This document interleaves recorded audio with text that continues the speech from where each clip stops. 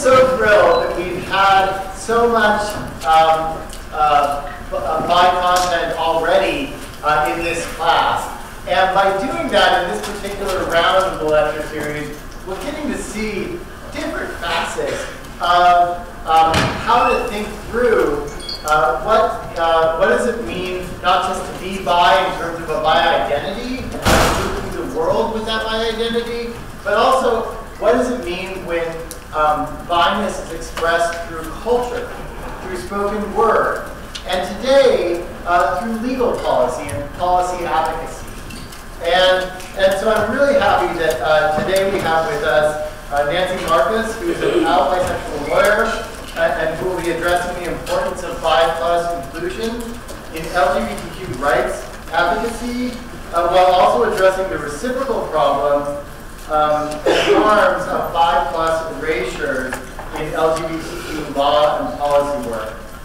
Uh, she is the uh, Legally Bi columnist for Bi.org, co-founder of BiLaw, the national legal organization, author of numerous articles on LGBTQ rights, bisexual jurisprudence, uh, jurisprudence, oh. That's the one.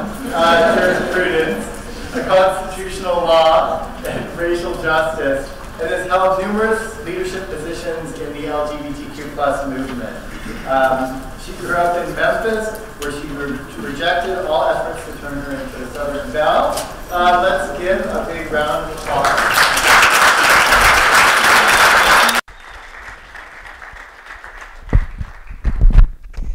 Okay, let's see if, um, can you hear me? Do I, do I need to hold the mic up to my mouth or can you hear me right now? Okay, great. Um, well, I am thrilled to be here. I'm so glad you had this lecture series. I wish there were more of these across the country, especially ones that are inclusive of bi issues.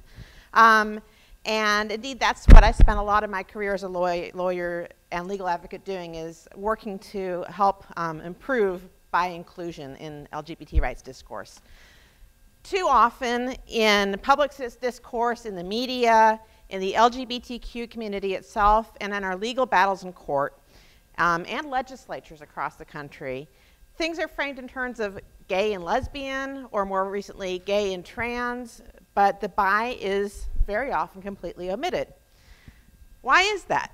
Is it because there are so few bisexual people out there? I have a feeling you know the answer to that one because you already had some bi lecturers.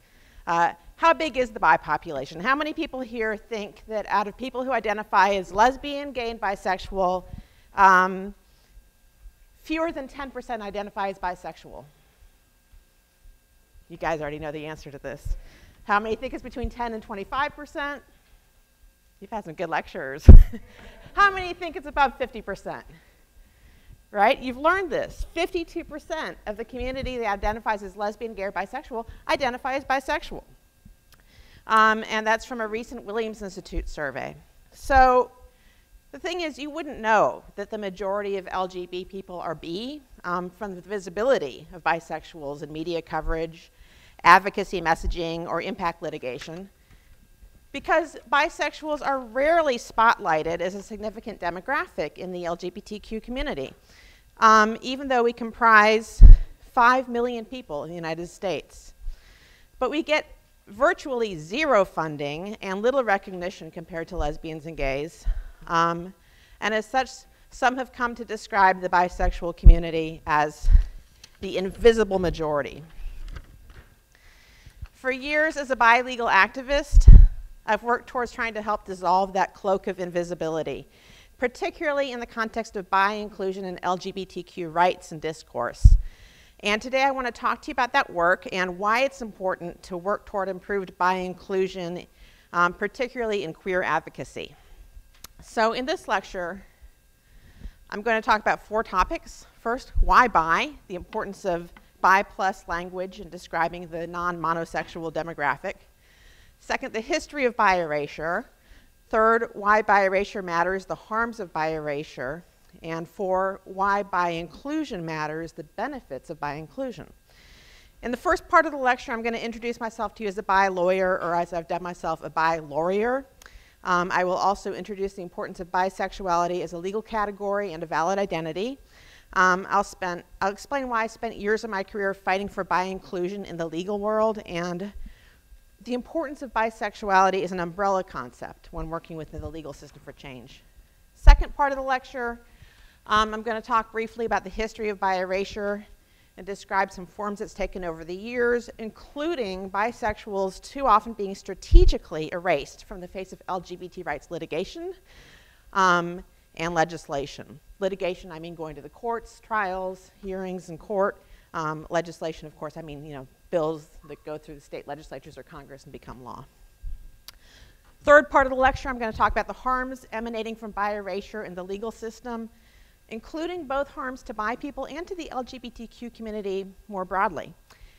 And then in the final part of this lecture, I'm going to talk about the benefits of being inclusive. I'm going to talk about how, at least in specific legal contexts, bisexuals can actually strengthen LGBT rights arguments. Um, I'm going to explain how bi inclusion benefits not just bis and other queer folk, but bi inclusion also adds to the overall integrity and cohesion of legal protections in a more general sense.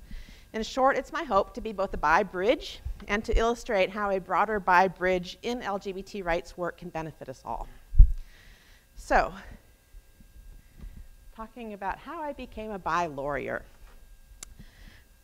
The reason I want to start telling you more about myself is because the issue of bi visibility and inclusion really is both personal and political. They're very much intertwined um, for me as they are for many people. I first came out as bi when I was your age, when I was a junior in college.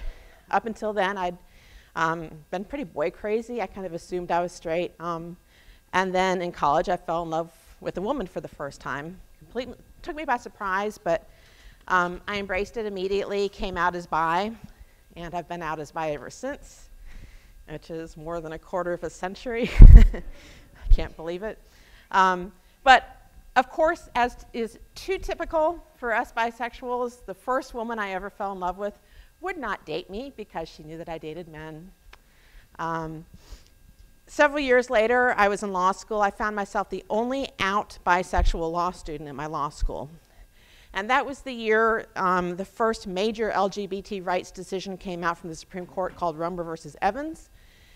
And I'm going to talk about this in more detail, but Romer versus Evans was a decision that it simultaneously affirmed LGBT rights, um, but in the process erased bisexuals.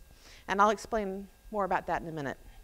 But that was the first of many occasions when I found myself in this kind of contradictory, dizzying position of celebrating a wonderful development in LGBTQ rights, but still grieving that bisexuals were thrown under the bus in order to get that victory.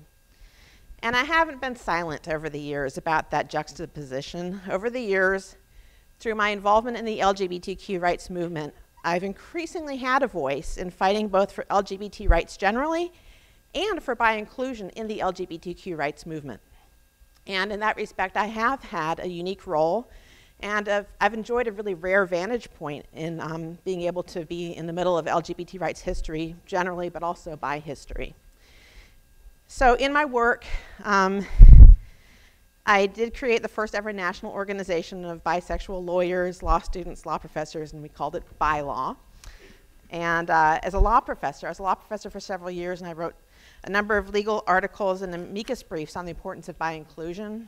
I spoke at the White House when we had a president who actually welcomed the bi community to the White House for a few years in a row. Um, and um, a number of conferences over the years uh, imploring people to be more bi inclusive in their advocacy. But in the end, there are too few of us out bisexual legal professionals in the movement. And while I've had greater access to the LGBTQ legal community than most bi activists, I still haven't had nearly enough opportunities to improve bi inclusion in the movement. So over the years, I found myself having to settle for crumbs instead of real progress in improved bi inclusion. And recently, my career has led me in a different direction. I've kind of retired from full time activism. But for a good five years of my career, it was a primary focus of my work. And for decades beyond that, volunteering, um, trying to help bisexuals become more included in the movement. So, what motivated me to get involved in bi inclusion? Um, I had worked for decades as a volunteer for the LGBTQ rights movement. Um, I had a number of leadership positions, board of directors, that kind of thing. And I had written a number of briefs on same sex marriage and articles before, 10 years before it became a reality, predicting how it could happen, kind of giving a blueprint for how it could happen. And my work was actually used by the briefs um, that the lawyers submitted to the courts. So I really did help in the movement to secure e marriage equality. And yet, as a bisexual, I still felt like a second class citizen, even though I was in the middle of the movement and, and helping out. So, for example, I was on uh, the steering committee for my local HRC organization. They had a day where they were dedicating the whole day to a workshop on improving diversity within HRC. And at one point, I said, okay, in the name of improving diversity, I just want to kind of out myself as bisexual. I know a lot of you probably assume I'm a lesbian, but actually I'm bi and I can kind of help network and reach out to that community. And I got chastised severely for coming out as bi, saying there's a time and a place for that. We all go through that. You know, everybody's gone through a bi phase, but you know, and so I was shocked because if the HRC isn't a safe place to come out as bisexual, you know, where is? And the last straw for me, um, and I'm skipping years of frustrations, but I think you can probably fill in the gaps from things you've heard already or things you've experienced, unfortunately. I hope not. But um, the last straw for me was there's an annual conference um, of queer lawyers. It's the LGBT Bar Association hosts a conference called Lavender Law every year. And um, Robbie Kaplan, Roberta Kaplan, is one of the lawyers who argued marriage equality to the Supreme Court. And she was the keynote speaker. And she got up there and she said, You know, we really need to stop calling it same sex marriage. Let's just call it what it is. It is gay marriage because only gays get married. Nobody else gets married in a same sex relationship. And I just wanted to scream, you know, because this is the keynote speaker at the National LGBT Bar Association saying bisexuals don't get married. We don't exist. Just call it gay marriage. Ironically, right after she spoke, the executive director of the Bar Association said, Next year, we're going to be focusing more on diversity and inclusion. How can we improve that? so I raised my hand and I said, Can we please start being more bi inclusive? And um, I was as nice as I could be. I wasn't, I, I don't think I was, you know, that obviously angry, but I was frustrated and it came out and as soon as that was over, um, a dozen people came up to me and said, Thank you for saying that. That's how we've been feeling too. And that is how BiLaw was organically created on the spot. That was um, when the organization began.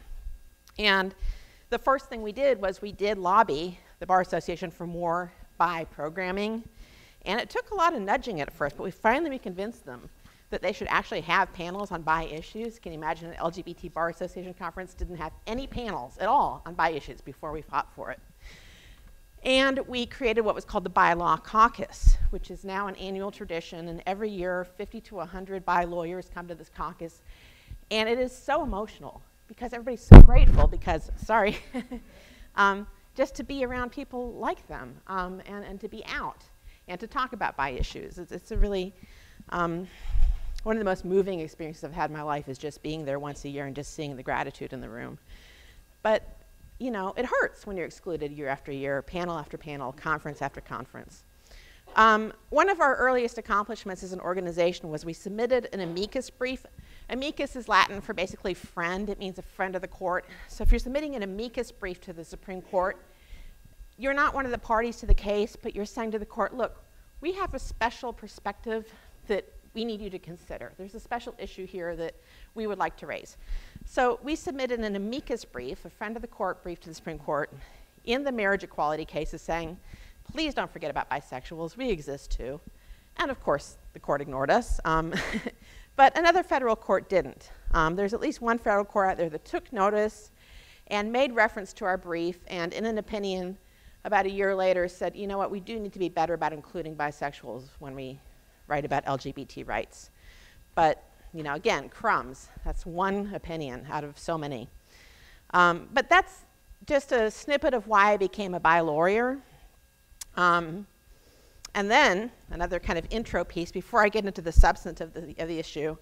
I want to talk about not just why bi, but also why, not, not why I, but why bi. Um, and here I'm going to give a somewhat condensed version of this because I'm feeling like I'm running a little out of time, and I think this is some Bi 101 stuff. But if there's time at the end, I'm happy to go over this in more detail with you. But I want to talk about the word bisexual and why it's important.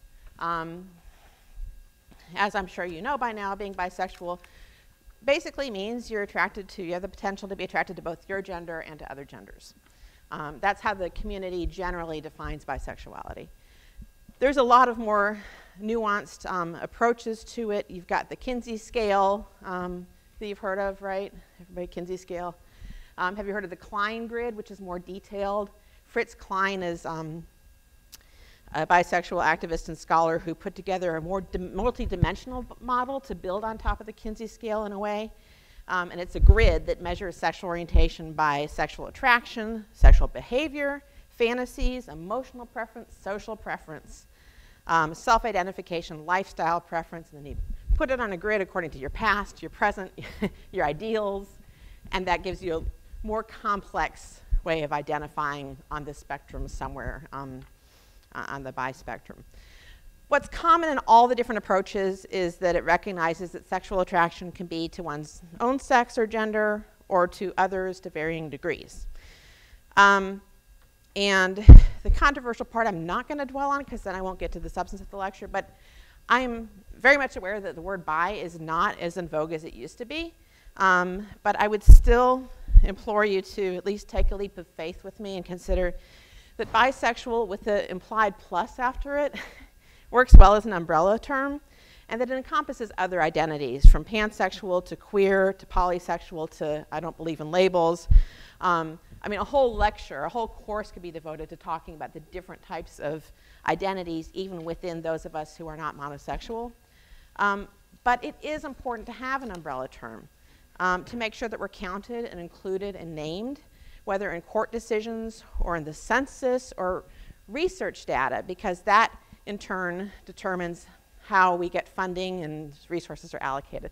I see a hand, but can we wait until the end of the lecture for Q&A? Because otherwise I'm afraid I'm not going to get to the, the gist of, okay, cool, thanks. Um, the bi movement, as I mentioned, is woefully underfunded, and one of the reasons is because we're undercounted. Um, so assuming that there are benefits to fighting within the system for change, even if it's pocket change compared to the rest of the movement, um, then even the queerest revolutions need agreed upon universal language. It's important. Um, we need common language to communicate with others, to effectively work within the system, or to even change the system from within. And this is important for legal issues because if the courts are unfamiliar with the very concept of bisexuality, it really can lead to serious life or death consequences to bisexuals who are seeking justice within the legal system. So we need umbrella terms to communicate, educate, and defend our very existence and rights, including to those with power over our lives. Is bisexual the best umbrella term? I know there are some who think no. Um, I'm going to table this, though, and just ask you to take that leap of faith with me, and I'll come back to it if I have time. But I think I can do pretty good job explaining why bi, to me at least, works as an umbrella term. But that is not at all to invalidate um, pansexual or any other identities that people who are not strictly gay or straight adopt.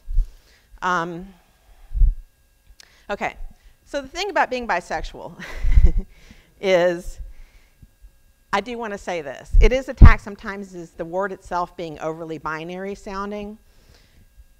But think about this for a minute. Bisexuality is about being both and, as opposed to being either or.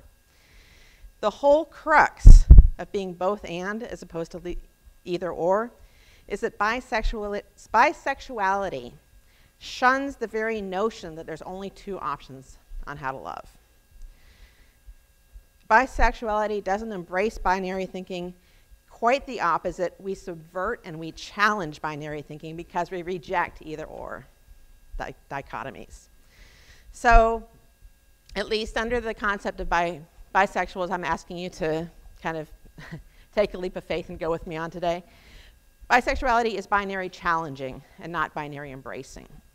It's about being both and. So, being a both and kind of person.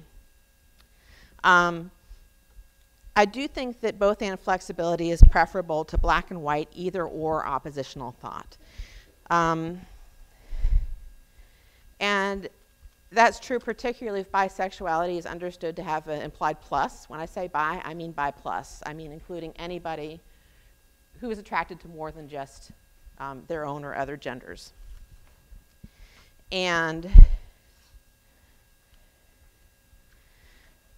again, I think it's important to have common language, an umbrella term like bisexual, because if we don't have labels and categories, we can't be counted.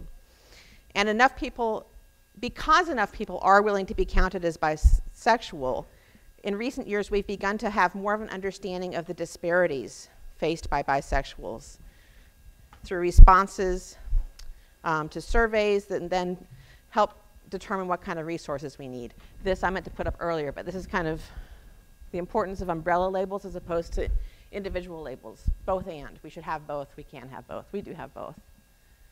And I'll just leave that up there for a moment. So, because enough people are willing to identify as bisexual to be counted on surveys that are really important, we're able to have data. We know that 52% of people who identify as LG or B are B. That doesn't even include people who have other labels. Um, so we're actually a much bigger demographic than that. Um, and we know from the data that we've collected that we're an extremely diverse population. Um, and we also have um, the transgender community and the bisexual community are very much intertwined. We always have been. Um, more people living with disabilities are bisexual, are bisexual than lesbian and gay. Unfortunately, there's a lot of negative disparities. Um, bisexuals are much more disproportionately likely to be victims of domestic violence, um, to have mental health issues, including suicidal um, ideation and attempts. We face higher rates of employment discrimination, and this is compared to lesbians and gays. By the way, this is not compared to the transgender community. The transgender community absolutely has it the worst. But bisexuals do have disproportionately high rates um, of um, also physical health issues. The rape statistic is one of the most shocking. 46% of bi women have been raped, as opposed to 17% of heterosexual women and 13% of lesbian women.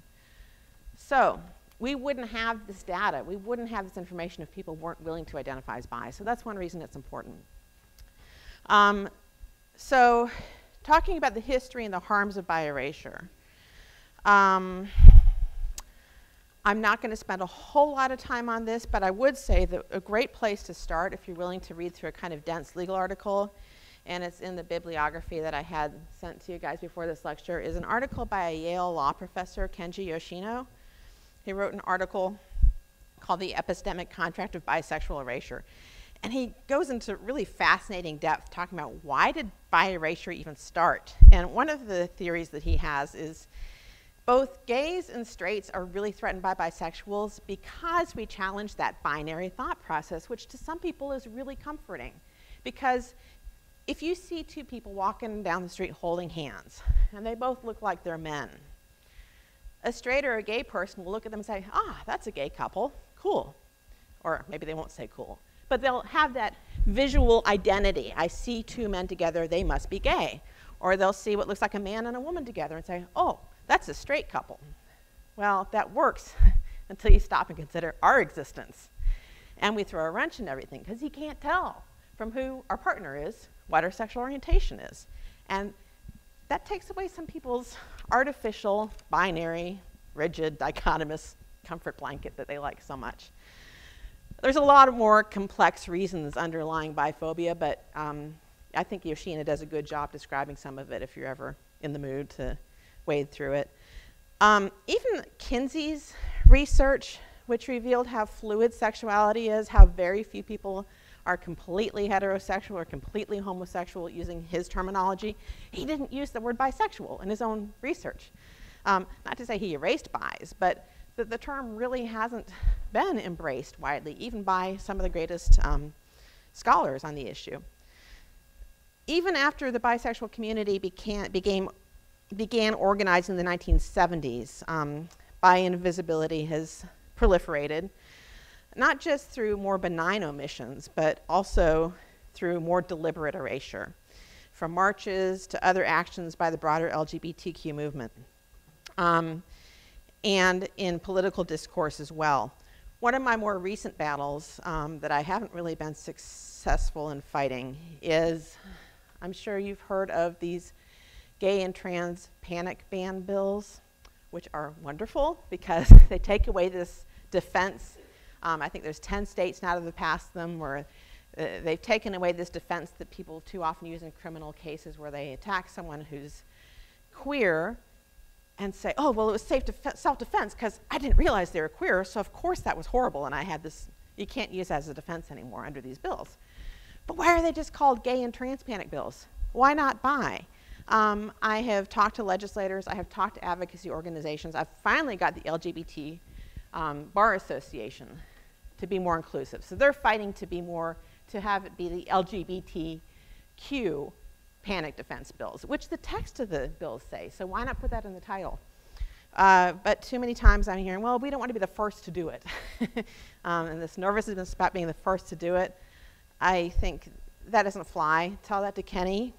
Um, Paturamos, and I apologize if I'm misspelling his, if I'm mispronouncing his name, but 10 days ago, he was a bisexual man who was killed for being queer, and his murderer is invoking self-defense. He's bi. You know, bi people get attacked too. They don't stop and ask us first before they beat us up. Oh, I'm sorry, are you bi or gay? If you're bi, I'm not going to beat you up. You know, it doesn't work like that. So legislative battles are still, we're very much left out, even the names of bills. But in litigation and court cases, um, that's really been troubling to me as a lawyer. Um, not just a lawyer, but I worked for Lambda Legal, one of the biggest LGBT rights organizations in the country. And it was pulling teeth trying to get them to be inclusive over the years. Um, let me go back to Romer versus Evans. This is the case I mentioned when I was a law student. It was the first big LGBT rights victory. Do people remember that case? Anybody? Okay, it's, it's a while back, but basically there's a state amendment that the voters passed into law, and this is what it said. It basically said homosexuals, lesbians, and bisexuals cannot have civil rights. That's basically what it amounted to. Court struck it down, said you can't single out a class of people like that and just deny them legal protections across the board. That is per se unconstitutional. Okay, great case. Here's the problem when the LGBT rights lawyers argued that case to the Supreme Court, look at the text. It says bisexual. They said to the court, the only people affected by this amendment are gays and lesbians. So that is the class of people we're talking about. So the face of the briefs to the court literally erased bisexual, and the court opinion, as a result, followed the lead of the LGBT rights lawyers and literally erased bisexuals. From that day forward, the Supreme Court has not mentioned bisexuals in the LGBT rights cases. They did before. So this is the fault of the movement itself being exclusive. Um, so that upset me as a law student. I was thrilled. I was excited by the substance of the decision. And yet at the same time, I'm like, but why was I erased? So for the next 25 years, I um, you know, did a deeper dive into that. So my dissertation that I ended up getting advanced law degrees writing about was the marriage issue, but also writing about bisexual exclusion. And you can't see the details of this, but basically, I went through every LGBT rights decision by the courts and every major brief by the advocates, and I counted the word bisexual. And I call this my donuts and crumbs chart because most of all, I mean, you just see zeros across the board. You'll see like 60 references to lesbian, gay, zero to bisexual, over and over again. There's maybe one reference to bisexuals, and that's when someone's quoting something. So those are my little crumbs. So that's my donuts and crumbs chart. Um, in the marriage litigation, there is even more blatant strategic bisexual erasure. There was, uh, okay, you all remember Prop 8, right? Proposition 8 in California, because it was California. Um, in that case, one of the main litigants who was trying to get the right to marry, her name was Sandy Stier. She was trying to marry her partner, a woman, Chris Perry. She had previously been married to a man.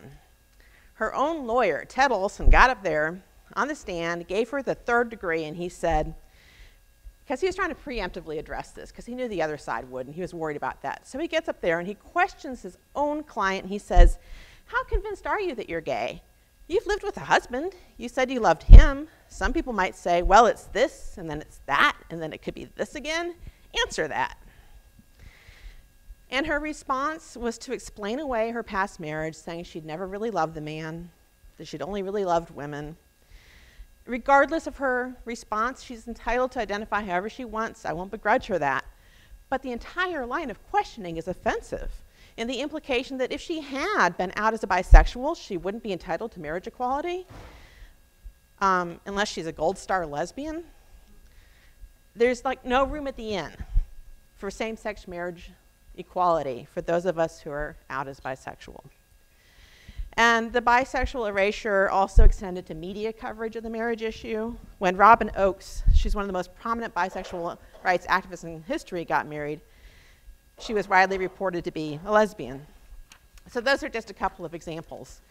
Um, even in recent years with the acronym LGBT, LGBTQ, LGBTQIA, wonderful to have an inclusive acronym, but sometimes that very acronym is used to erase bisexuals. When a famous bi person comes out, for example, most recently Cory Booker's partner, she, the headlines too often will say, um, famous person comes out as LGBT.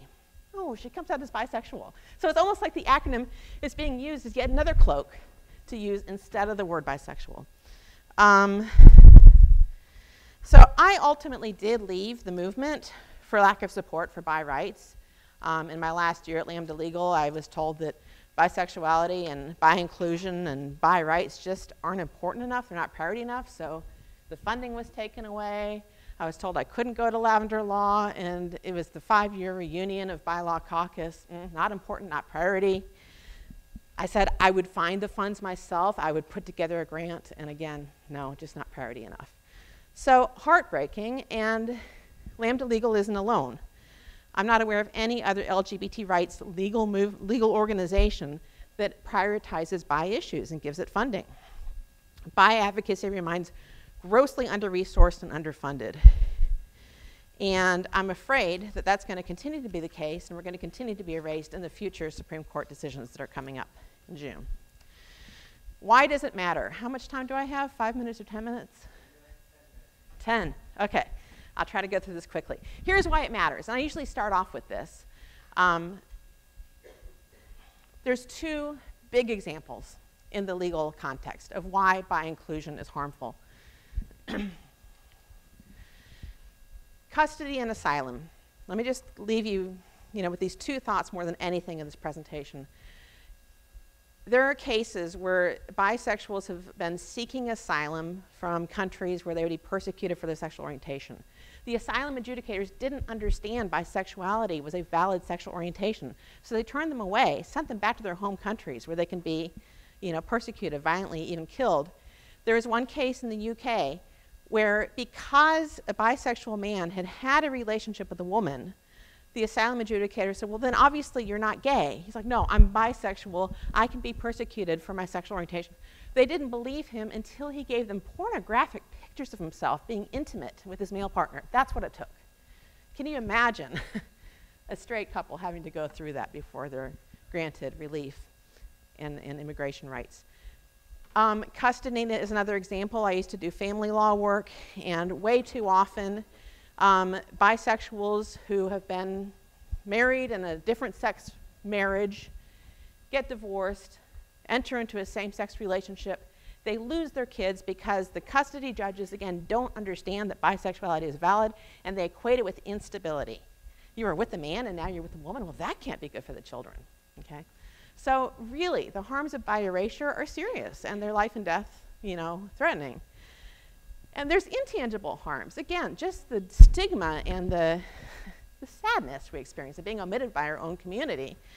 Um, the perpetuation of miscommunication, of, of misinformation. Um, this is harmful to really the legal system as a whole. And it's hypocritical for the LGBTQ movement, on the one hand, to be fighting against second class citizenship and then doing that to its own. Uh, there are, I wish I had more time, because then there's, there is overlap between the polyamorous community and the bi community. I'm a monogamous bisexual. There's a lot of monogamous bisexuals. You can be monogamous and be bisexual, which makes it kind of hard to talk about this issue. A lot of people don't want to. But there is overlap because there are a number of bi people who validly um, you know, want to be with either one more person or you know, potentially one more gender And they have non traditional family structures that are not protected under the law. I mean, these days, polyamorous, non traditional families are back where same sex couples were before marriage equality. There's a lot of work that needs to be done there legally. Um, I am proud that I do have. Ah, I do have a friend, Diana Adams, who I'm proud to know, who is very active in the bi movement. She's also active in the polyamorous community. She's a lawyer. She helps create legal agreements to protect non traditional family structures. You know, there's only really one of her in the country that does the work to the level she does. There needs to be a lot more of that. So, if any of you are thinking about going to law school, this could be a really fun area to go into. Um,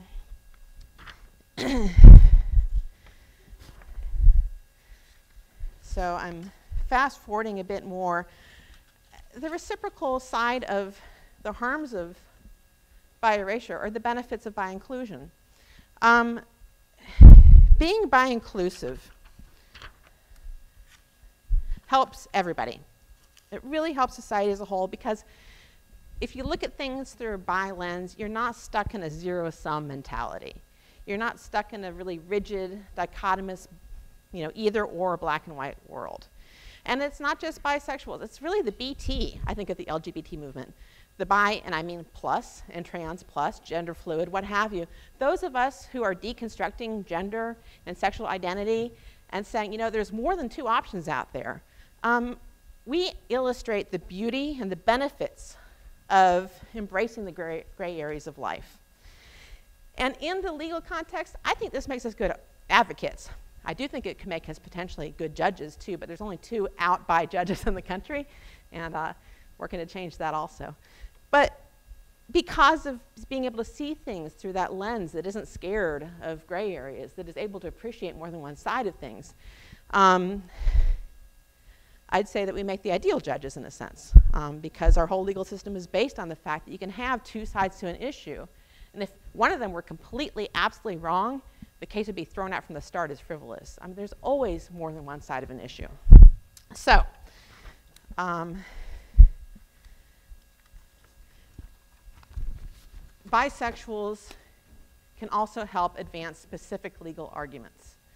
Um, one example is in the marriage context, I would tell people, and I had this in an article, we had this in our brief to the court. When I was living in Indiana, where marriage wasn't legal yet, if I went to the clerk of courts and I said, Hi, I'm bisexual, this is my female partner, we want to get married, is that okay? They'd say, Well, no, because we don't recognize same sex marriage. If I go to that same clerk and say, Hi, I'm bisexual, this is a man, I'd like to marry him, is that okay? Well, sure, of course. We have heterosexual traditional marriage here. What's changed in that equation? Not my sexual orientation. The only thing that's changed is the gender of the person I want to marry. So, bisexuals illustrate that sexual orientation discrimination is a form of sex discrimination. Why is that important? That is the issue in front of the Supreme Court right now. That's important because under a number of laws in this country, under the Constitution, under federal civil rights laws, sex discrimination is protected. So even if sexual orientation isn't spelled out under the law, sex discrimination is, once you realize, and bisexuals, I think, can help illustrate that it's a form of sex discrimination, then we get legal protection. Same thing works in the employment context, and that is exactly the issue that's in front of the Supreme Court right now. So, once again, I was a squeaky wheel reached out to all my contacts in the legal community. I said, You're going to be making this argument to the Supreme Court, right? You're going to be including bisexuals, right? Because we actually strengthen your argument. Lambda Legal did. They actually did put my argument in their brief, but the main lawyers didn't. I'm not going to hold my breath counting on the Supreme Court to include us. But that's an example, and there are others, of how we actually help strengthen arguments. Um, in general, we also help um, consistency to be bi-inclusive is to be consistent, is to not contradict yourself as an LGBT rights activist when you talk about the importance of liberty and choice and all of these principles that bisexuals embody. Um, there is so much more that I would like to say, but I'm out of time. I would implore you, at the very least, bisexual is not a dirty word. Please don't be afraid of it. Please use it. That's a big part of all I'm asking for here. Um, am I out of, out of time? No Q&A? Okay, five minutes for questions.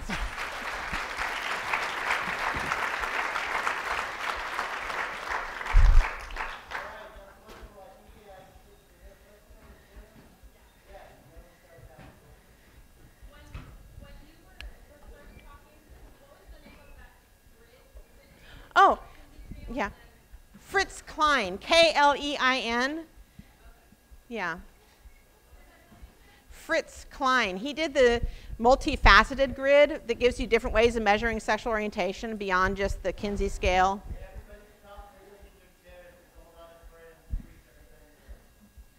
Oh, by the way, here's a couple more things if you wanted to advance bisexuality in a legal context. Invisible Majority Report, I would strongly urge reading it. It goes into detail talking about how to include bisexuals in specific policy measures. Um, also, please consider in actively inviting bi groups um, and bisexuals into your advocacy. Invite us, reach out to us.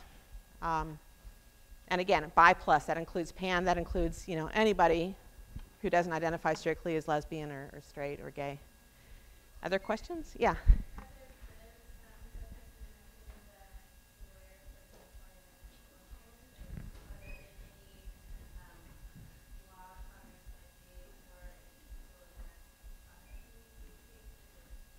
For bisexuals specifically, or?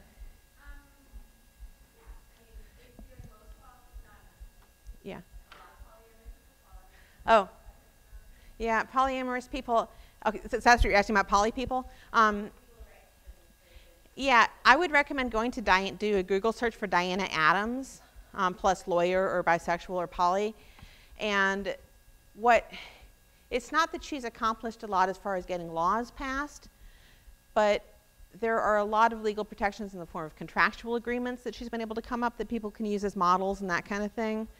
Um, there are some, you know, states that have third-party adoption options that can be, you know, available to polyamorous families, but it's very piecemeal, very state by state. But I would suggest looking at Diana Adams' work because um, she has a really great website where she spells everything out in detail, both the issues and solutions. Any other questions?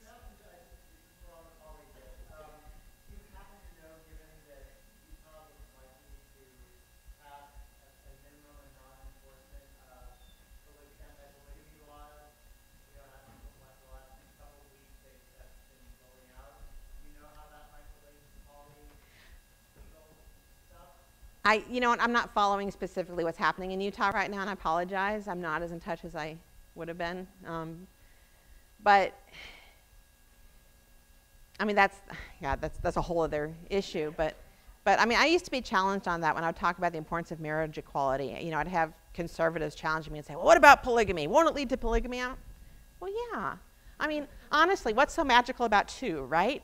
Um, so if you think about the constitutional bases for our rights, it's about the right to make our most intimate personal life decisions by ourselves without government interference.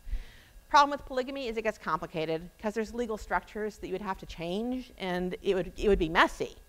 But in theory, I don't know why constitutionally polyamorous and polygamous family structures shouldn't have some kind of protection.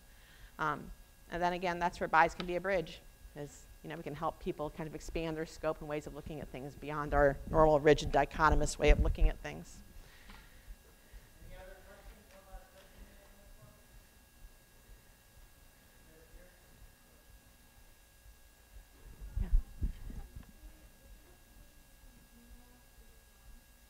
Um, sure, yeah. I'll, uh, I'll send you my slide that you can distribute to your students. Sure. Oh, actually, yeah. Yes, so absolutely. Yeah. Great. Okay. Well, thank you all so much for coming.